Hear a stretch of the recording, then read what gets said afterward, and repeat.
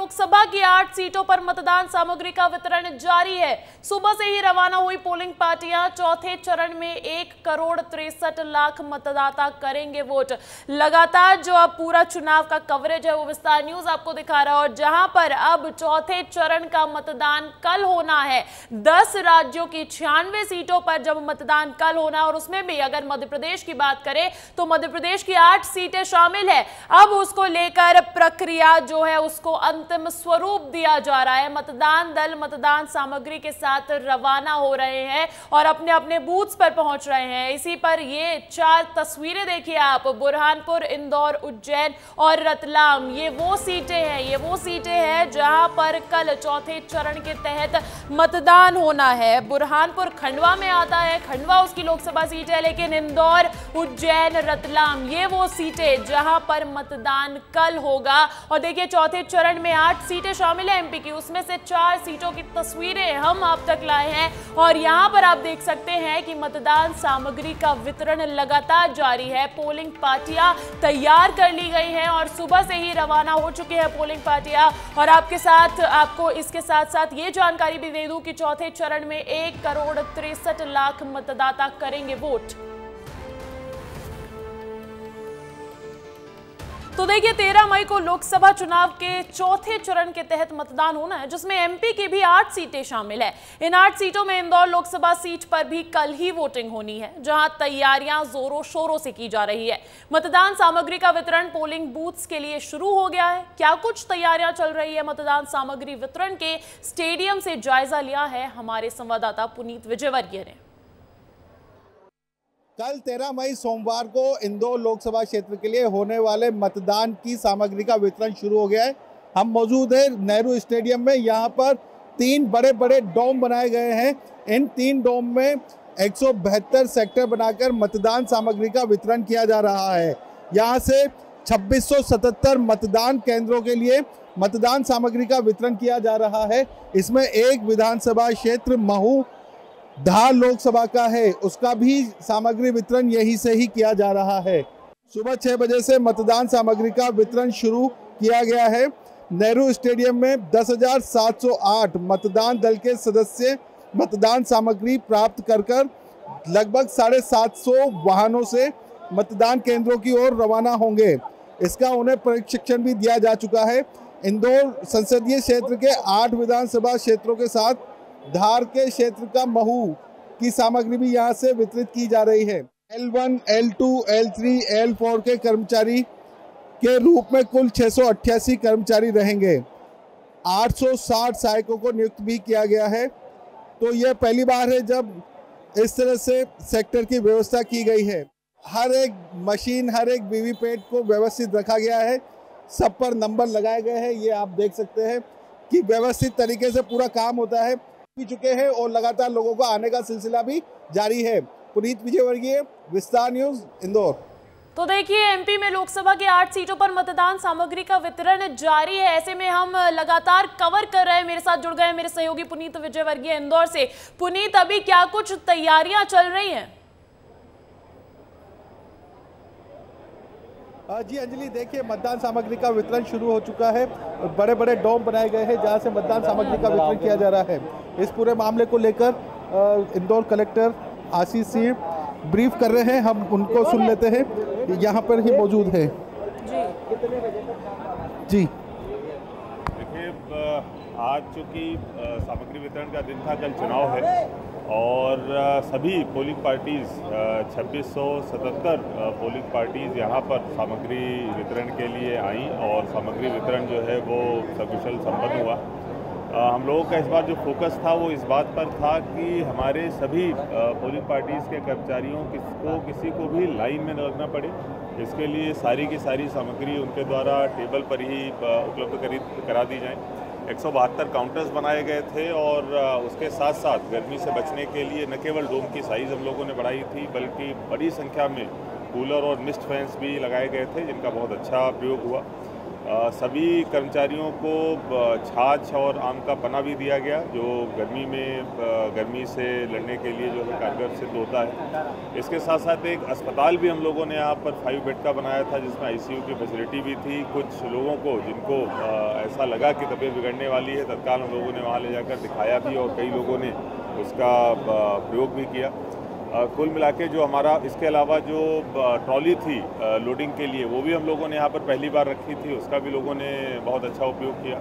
तो कुल मिला के जो हमारी व्यवस्था थी, जिसका उद्देश्य था कि कम से कम परेशानी का सामना करते हुए, बिना लाइन में लगे हुए, बहुत ही सकुशल ढंग से, सुव्यवस्थित ढंग से सामग्री का वितरण हो जाए। और मुझे लगता है कि पूरी नगर निगम की टीम जो लगी थी उसमें, वो पूरी तरीके से हमारा जो मिशन था, वो कामयाब रहा है। और बिना किसी परेशानी के बिना लाइन में लगे हुए बहुत ही सुव्यवस्थित सामग्री वितरण कंप्लीट सर तो देखिए अंजलि यह कहना है इंदौर कलेक्टर आशीष सिंह का कि बिना किसी समस्या के बिना लोगों के लाइन में लगे मतदान सामग्री का वितरण किया जा रहा है और इस बार जो व्यवस्थाएँ की गई है वो अभी तक की सबसे बेहतरीन व्यवस्थाएँ बताई जा रही है। जी अब जैसा कि कलेक्टर आशीष सिंह को सुना हमने उनका कहना है कि गर्मी से निपटने के लिए भी कुछ कुछ इंतज़ाम किए गए हैं उस पर जरा अधिक जानकारी दे दीजिए पुनीत। जी देखिए गर्मी से निपटने के लिए यहाँ पर 400 फुहारों वाले कूलर लगाए गए हैं 250 बड़े कूलर लगाए गए हैं। इसके अलावा कैरी पना की व्यवस्था की गई है छाछ की व्यवस्था की गई है और ठंडे पानी की बहुत अच्छी व्यवस्था यहाँ पर हर एरिया में की गई है। तो गर्मी से बचाने के लिए ही इतने बड़े डॉम बनाए गए हैं जिसके अंदर पूरी ठंडक की व्यवस्था है। साथ ही एक टेम्प्रेरी हॉस्पिटल भी बनाया गया है ताकि तेज़ गर्मी की वजह से यदि किसी भी व्यक्ति की तबीयत बिगड़ती है तो उन्हें तुरंत उपचार मिल जाए। अंजलि। जी बिल्कुल पुनीत बहुत बहुत शुक्रिया। तो देखिए, जहाँ चौथे चरण का मतदान होना है, उसको लेकर अब तैयारियाँ जोरों शोरों से चल रही है। बात कर लेते हैं खरगोन की। खरगोन में भी लोकसभा चुनाव के मद्देनजर टंटिया मामा विश्वविद्यालय परिसर से आज ईवीएम सहित चुनाव सामग्री का वितरण किया जा रहा है। ज़िले के एक हज़ार पाँच सौ अड़तालीस मतदान केंद्र बनाए गए हैं, जिनमें ज़िले के करीब सात हज़ार अधिकारी कर्मचारियों की ड्यूटी लगाई गई है। तो देखिए, खरगोन में भी तैयारियाँ पूरी है। खरगोन लोकसभा सीट भी शामिल है उन आठ लोकसभा सीटों में, जहाँ चौथे चरण के तहत मतदान किया जाना है। ऐसे में ये तैयारियाँ पोलिंग पार्टियों की खरगोन में भी।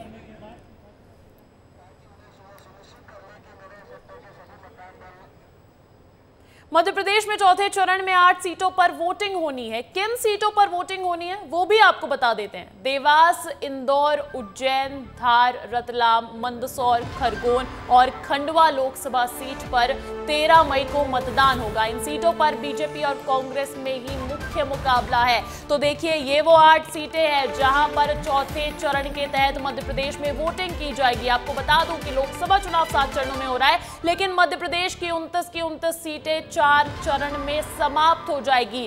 कल मध्य प्रदेश में लोकसभा का अंतिम चरण है, चौथा चरण है। ऐसे में आठ सीटों पर मतदान होना है। कौन सी है वो सीटें? देवास, इंदौर, उज्जैन, धार, रतलाम, मंदसौर और खरगोन और खंडवा। ये वो आठ सीटें हैं जहाँ पर कल, यानी 13 मई को मतदान होगा। अभी अभी हमने जायजा लिया। लगातार प्रशासन की तरफ़ से तैयारियाँ की जा रही है। मतदान दल जो है, उनको सामग्री का वितरण किया जा रहा है। और ऐसे में अब तैयारियाँ पूरी होती हुई नज़र आ रही है। बात कर ले अगर इन आठ सीटों की तो देखिए, सारी ही सीटों पर बीजेपी और कांग्रेस में ही मुख्य मुकाबला है, लेकिन लेकिन इंदौर में सियासत पलट गई है। इंदौर में कांग्रेस पार्टी की तरफ़ से कोई भी प्रत्याशी नहीं है। ऐसे में कांग्रेस का सहारा इंदौर सीट की अगर मैं बात करूँ तो वो नोटा है। तो हम बात कर रहे थे कि आज से मतदान दल, मतदान सामग्री लेकर रवाना हो रहे हैं। बुरहानपुर में कलेक्टर भव्या मित्तल ने मतदान दलों को रवाना किया। ज़िले में छह सौ बावन मतदान केंद्र बनाए गए हैं। चौथे चरण की मतदान के लिए मतदान दलों को बुरहानपुर से आज रवाना किया गया। हम तस्वीरों में आपको दिखाते हैं कि जो मतदान दल है, उनको आज रवाना किया जा रहा है। हम बुरहानपुर की बात करें तो बुरहानपुर में छः सौ बासठ मतदान केंद्र स्थापित किए जिसमें से नेपानगर विधानसभा की हम बात करें तो तीन सौ छः है और बुरहानपुर विधानसभा में तीन सौ छियालीस मतदान केंद्र है। वही हम इसकी मतदान केंद्रों की बात करें तो यहाँ पर क्रिटिकल मतदान केंद्र जो है 116 मतदान केंद्र है और बुरहानपुर ज़िले की हम बात करें तो पाँच लाख इक्यानवे हज़ार एक वोटर्स है। उसमें से पुरुष दो लाख अंठानवे हज़ार है और महिला मतदाता दो लाख बयानवे हज़ार मतदान केंद्र, मतदान है। और ये सभी अपने मत का उपयोग करेंगे। देखिए धीरे धीरे जब मतदान दलों को रवाना किया गया है कलेक्टर भगवंत मित्तल ने अपने अपने यहाँ पर मतदान दलों को रवाना कर दिया है।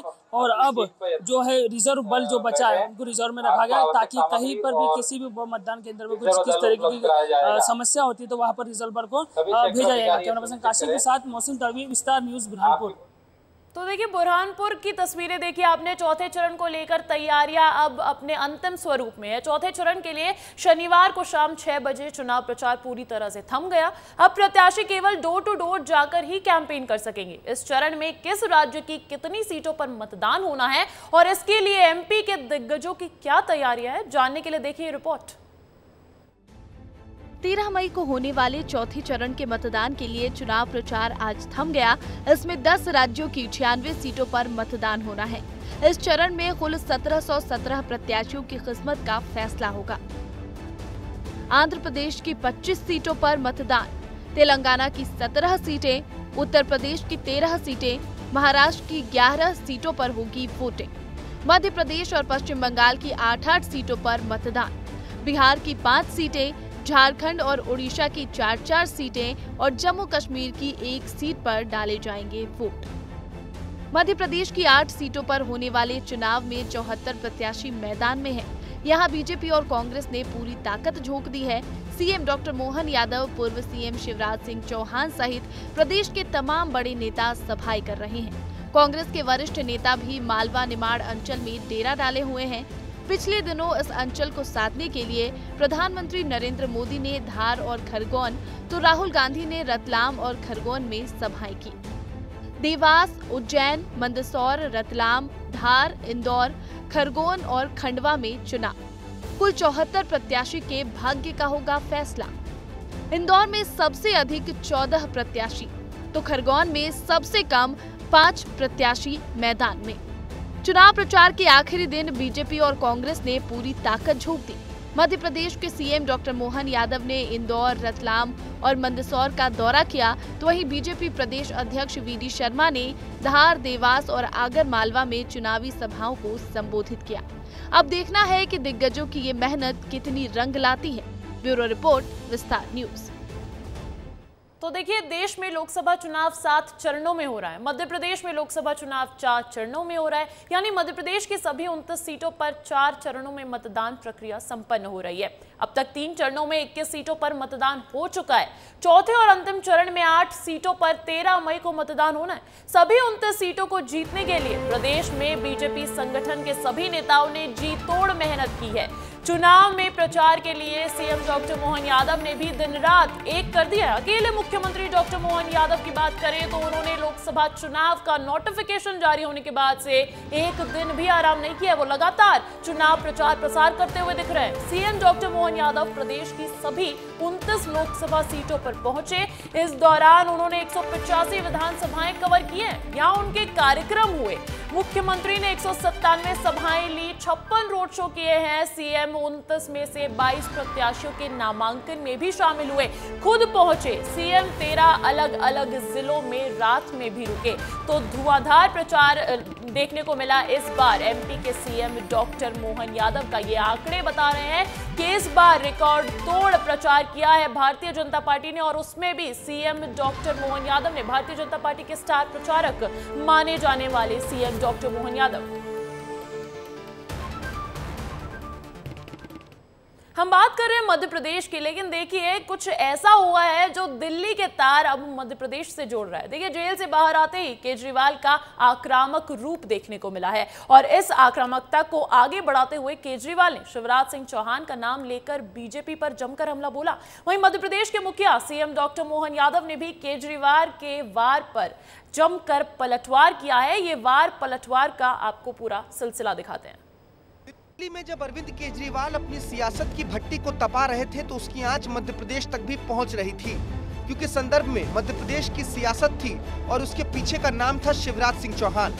लिहाजा मध्य प्रदेश के जनतंत्र से भी इस बार पर पलटवार आना तय था। इसलिए पहले चलिए आपको सुनवाते हैं कि केजरीवाल ने आखिर ऐसा क्या कहा है। जिससे मध्य प्रदेश और छत्तीसगढ़ की सियासत उफान पर है। आडवाणी जी की राजनीति खत्म कर दी इन्होंने, मुरली मनोहर जोशी की राजनीति खत्म कर दी, सुमित्रा महाजन की, शिवराज सिंह चौहान जिसने मध्य प्रदेश का चुनाव जीत के दिया इन लोगों ने, शिवराज सिंह चौहान ने, उसको मुख्यमंत्री ने बनाया, उसकी राजनीति खत्म कर दी। वसुंधरा राजे की राजनीति खत्म कर दी, इन्होंने खट्टर साहब की राजनीति खत्म कर दी, डॉक्टर रमन सिंह की राजनीति खत्म कर दी। अब अगला किसका नंबर है? अब जब केजरीवाल ने मध्य प्रदेश की राजनीति में कूदने का फैसला कर ही लिया तो मध्य प्रदेश के मुखिया सीएम डॉक्टर मोहन यादव का पलटवार करना तो लाजमी था। सीएम डॉक्टर मोहन यादव ने ईट का जवाब पत्थर से देते हुए केजरीवाल को वेंटिलेटर पर पड़ा हुआ मुख्यमंत्री बताया है। सारे मतदाताओं का अपमान है ये, और एक के बाद एक केजरीवाल जैसे व्यक्ति जो ऐसा माना जाता था कि वो इस सब बातों को समझते हुए व्यवहार करेंगे, लेकिन पता नहीं परमात्मा ऐसा परीक्षा लेता है कि जिसका समय खराब आता तो वो ऐसे निर्णय करता है। पहली बात तो उनको एज ए सी जेल जाना नहीं चाहिए था।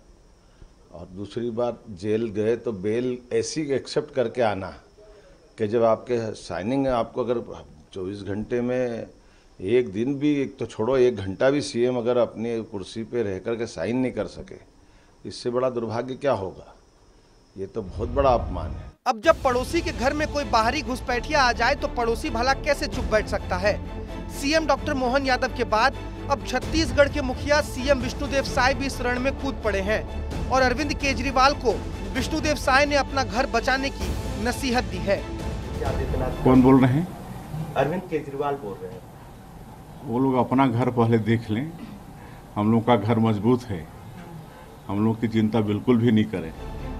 अरविंद केजरीवाल, सीएम डॉक्टर मोहन यादव और सीएम विष्णुदेव साय के बीच की इस तकरार ने लोकसभा चुनावों के बीच राजनीतिक माहौल में और भी सरगर्मी पैदा कर दी है। केजरीवाल के तिहाड़ से बाहर आते ही उनके तेवर में भी बड़ा बदलाव आ गया है। हालाँकि अब केजरीवाल के ये तेवर इंडिया गठबंधन की पंक्चर गाड़ी में कोई जान फूक पाते हैं या नहीं, ये तो वक्त ही बताएगा। Bureau report, Vistaar news. और इस वक्त की एक और बड़ी खबर मिल रही है रायसेन से। देखिए, डॉक्टर जयप्रकाश किरार की सड़क हादसे में मौत हो गई है। बीजेपी के पूर्व जिला अध्यक्ष थे डॉक्टर किरार, एमपी बीजेपी कार्य समिति के सदस्य भी थे डॉक्टर किरार। और इसी बीच ये बड़ी दुर्घटना की खबर निकलकर सामने आ रही है रायसेन से, जहाँ पर सड़क हादसे में डॉक्टर जयप्रकाश किरार की मौत हो गई। बीजेपी के पूर्व जिला अध्यक्ष रह चुके हैं डॉक्टर किरार और साथ ही साथ एमपी, बीजेपी कार्य समिति के सदस्य भी थे डॉक्टर किरार।